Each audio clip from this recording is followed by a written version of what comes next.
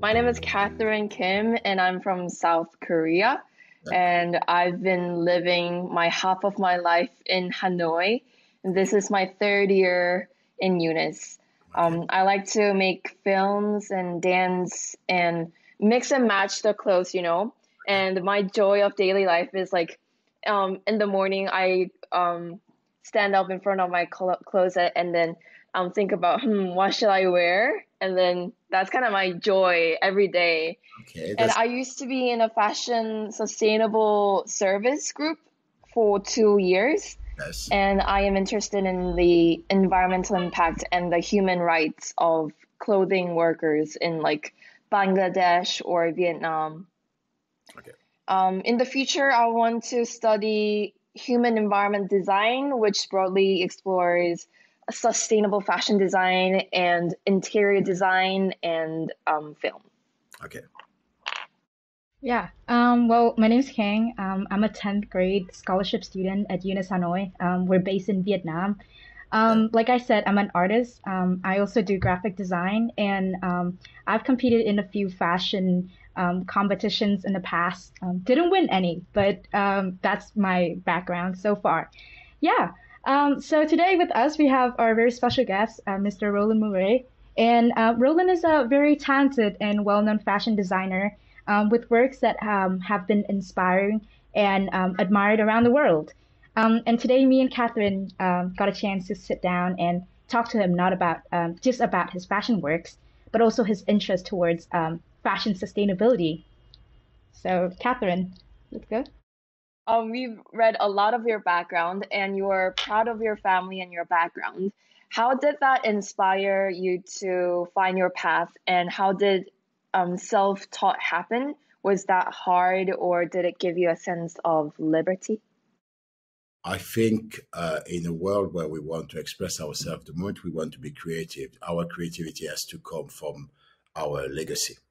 Uh, so at school will will uh, a bit disturbed. That's why I never went to school to learn, and uh, uh, it was great for me because uh, I think I'm kind of person with a strong mind. I took the time to learn from my own legacy and and create my own technique, and allowed me to uh, not having a blueprint of a career. That's been everything I've done. It was based on my own identity.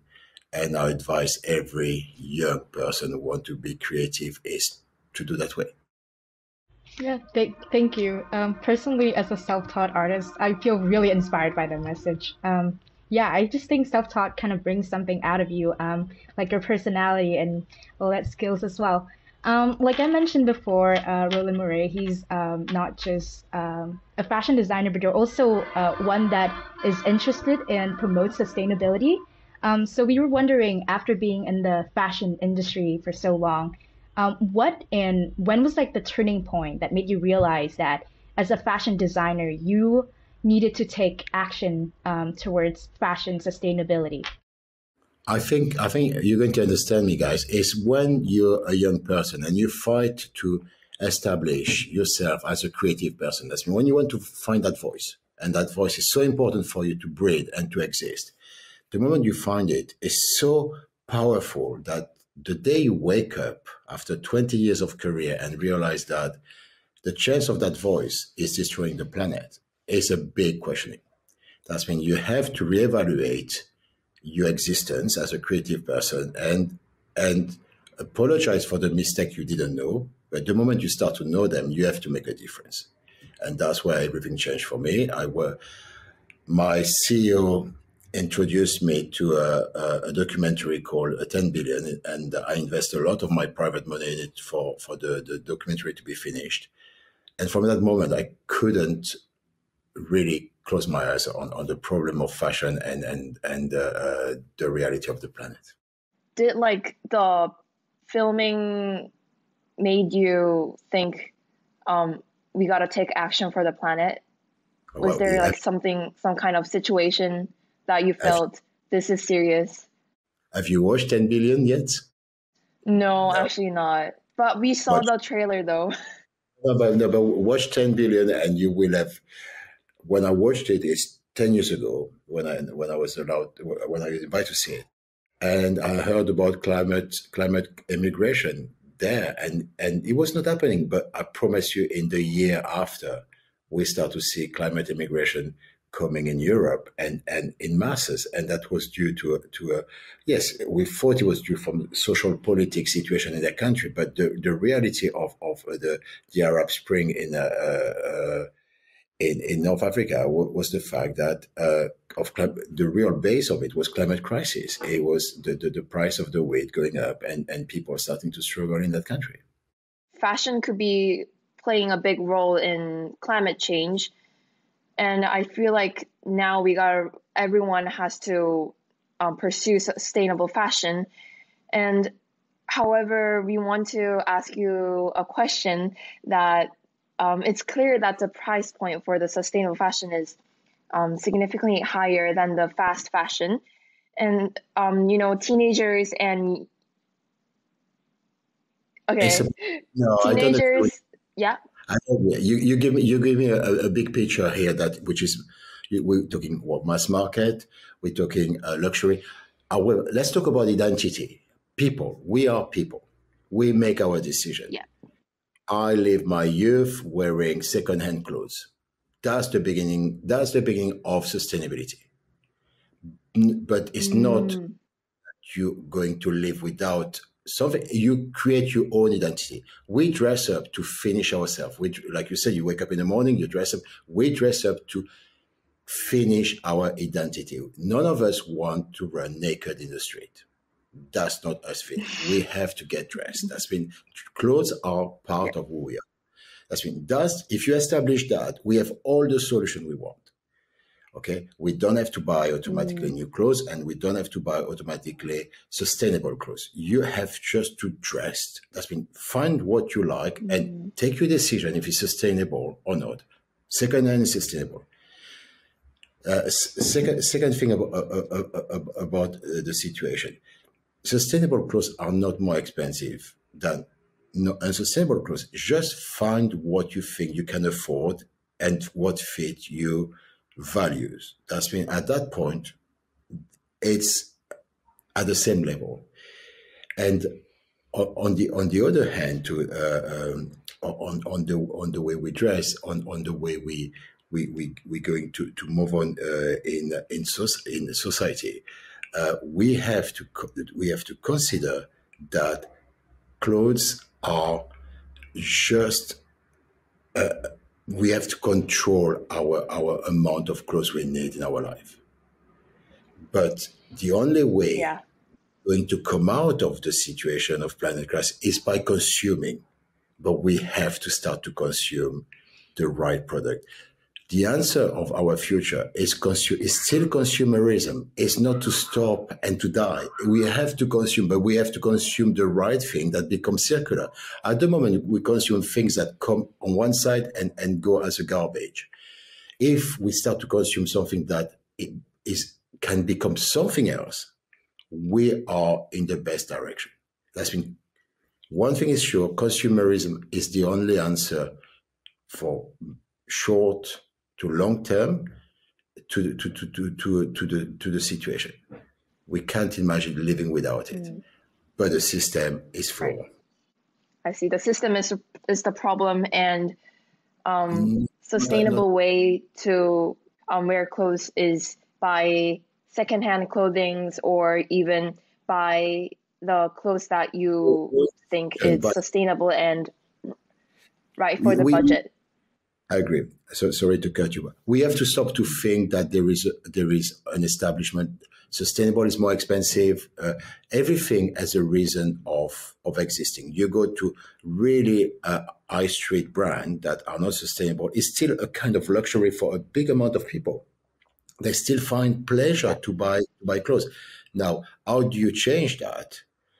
Is is to is to change the people. It's not to change the product. Change the people. We say, why don't you dress up mm. based about who you are inside? What is about you that is so unique? But these people don't see the, how unique they are. They just want to have a, a luxury attitude on, mm-hmm. of consumer. Maybe guys you should go to stand up in in front of all the big stores with with a, a second hand clothes and say let's try to make a makeover here. And will you buy second hand compared to compared to uh, uh, to buy things that are not it's it's eh, there are so many solutions so many solutions we can approach. Mm. i'm in my way but you guys you you young people you have the world in your hand or the kind of world we're going to leave you? As a fashion service member, we've came across companies that eliminate microplastics, including oh. Arch and Hooks, which yes. we know that you are collaborating it with. So yes. could you tell us a little bit more about your work with Arch and Hooks and is there a, a specific reason that you decided to collaborate with them as your step to promote sustainability? Yeah there are things I'm really proud in life. There are things I'm really will make the success of my life the day I will pass away. And uh, one of it, one of them is uh, when one day I wake up and I realize that in my industry there is a, a product, the equivalent of the plastic straw in restaurant is a hanger that goes from the factory to the shop.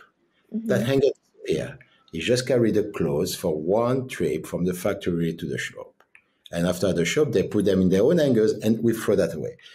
And I was so deep, distressed by that situation. Uh, I really wanted to make a difference. And I met uh, uh, Short, who was the, the CEO of uh, uh, Arch and Hooks at the time. It was a startup company. And I, I told him my, my, my dilemma. And we decided to create a, a new product. And we came out with a, with a, a hanger was at the time was called the Blue Soldier, which is a, a, hanger completely recyclable and sustainable that can do that trip, and and could change could change the industry. Uh, from that story, the, the the the product grew. Now it is a full collection of hangers made of what we call blue wave plastic, and uh, it's what we're working on at the moment to to grow the to grow more and more product made of blue wave plastic that it will transform our life and uh, and we will make a change because I think there is enough plastic on the planet. I think plastic should be the third raw material we have on the planet.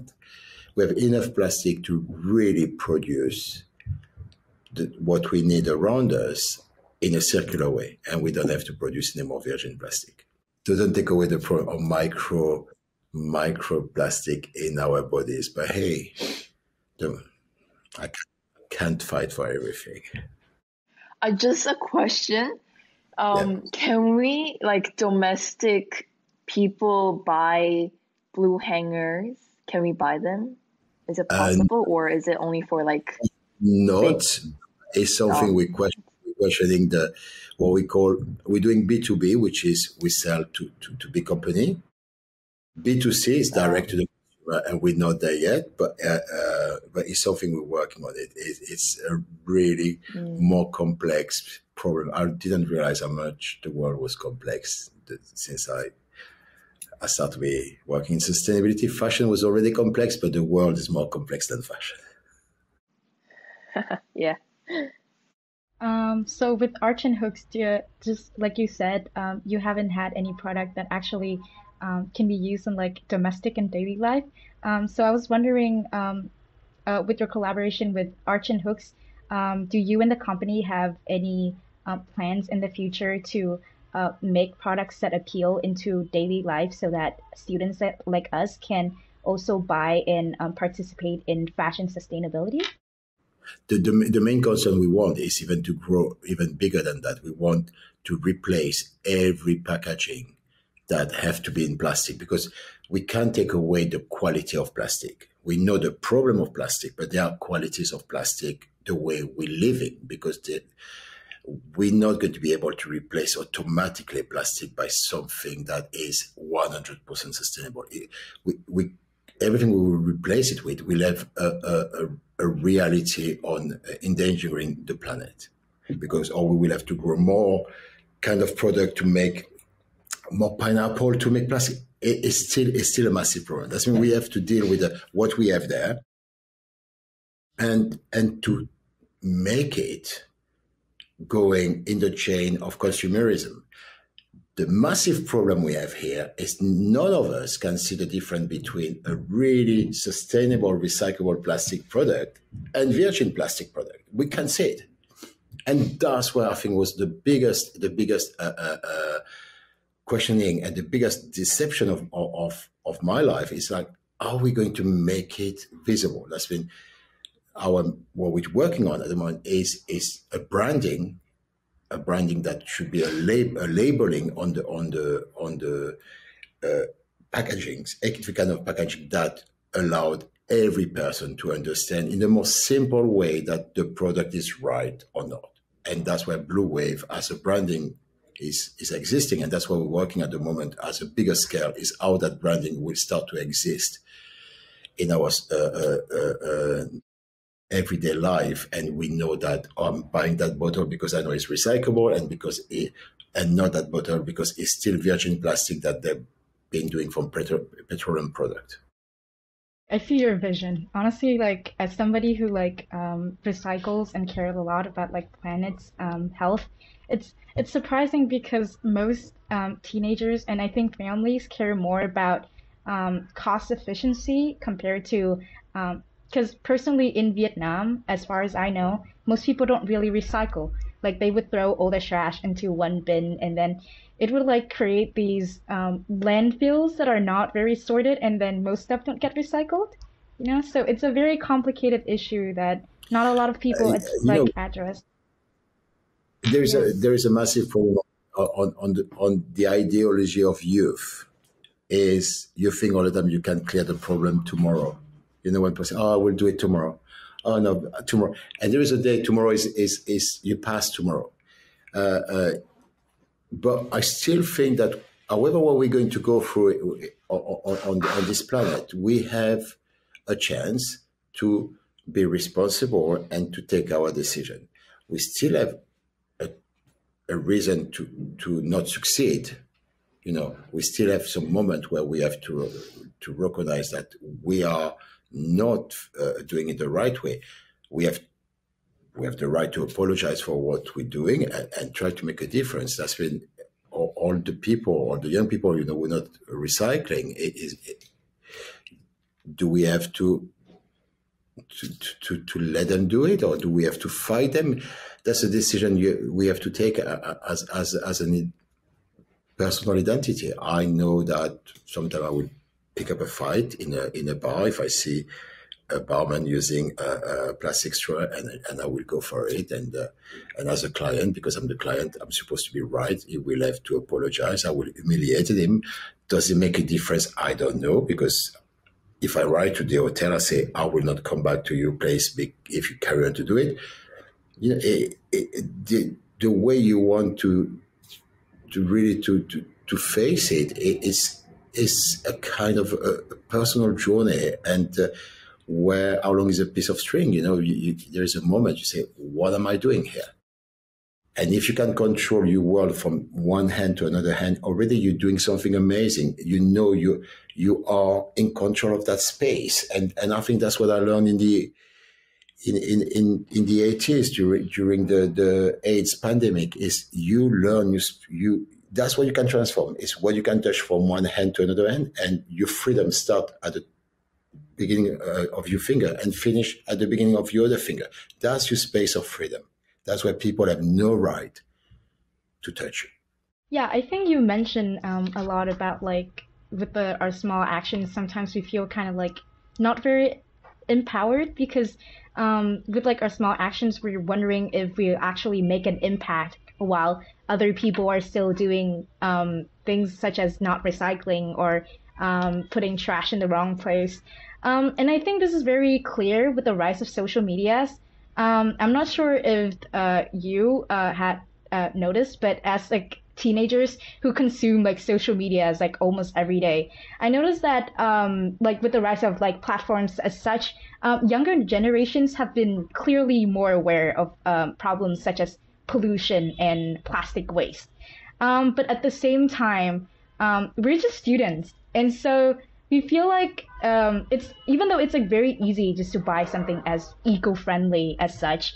Um, it's clear that a lot of people aren't aware of the problem of um, plastic and pollution. And so um, these actions that we do, such as picking up trash, sometimes it feels like we're doing nothing and like we're not leaving an impact because the world is like so big, right? And um, we're just doing like a small part. How and um, so to wrap it up, uh, my question is, in your personal opinion and like through your own experience, what do you think like young consumers as like us can do or demand within um, fashion and retail or just in general in order to um, help help our planet out? Uh, do you want the real answer? Okay.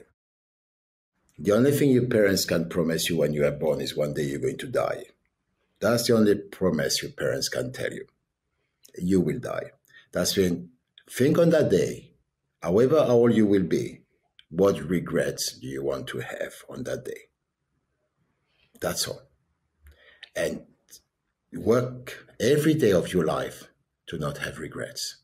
How small, what you're going to do, you don't want to have regrets.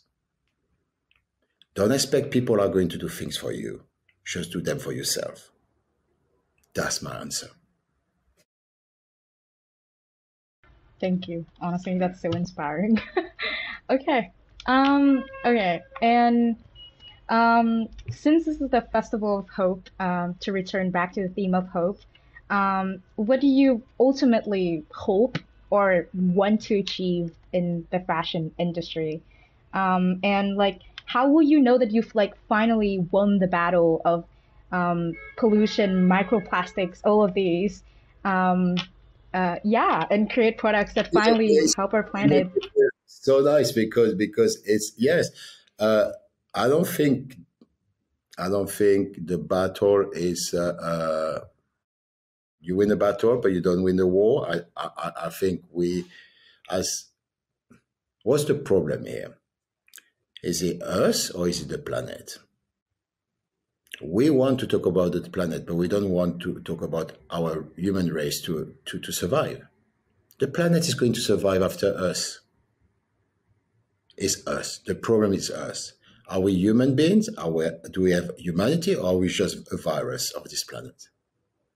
How do we want to see it?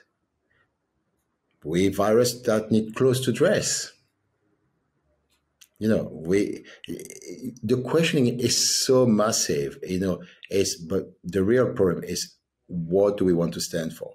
I know, but I'm going in a part of my life where I still have years to go through where I didn't know.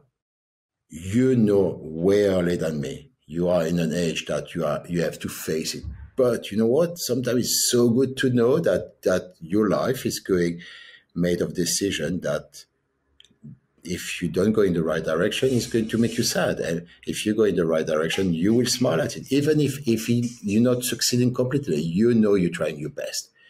And I think never expect other people to do something for you, but expect to do your best all the time. Buy the clothes, buy, buy the, the, the product that make you feel right. That's all be aware that what you talk about social media is or uh, is horizontal, it's not vertical anymore. I come from a generation where culture was vertical. It was starting from the top and it was coming to us. Fashion was starting from really a top of designer, and we had to wait six months to understand it.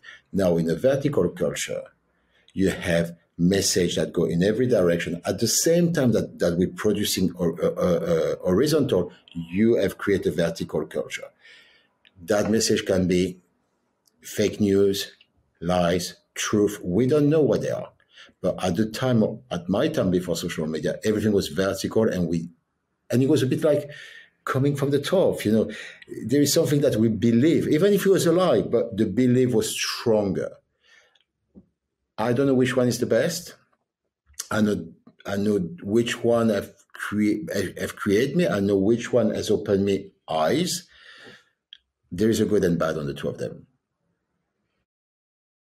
As mean you have you have to really every morning when you look at yourself in the mirror to dress yourself, first look at yourself in the eyes and say, Do I lie to myself?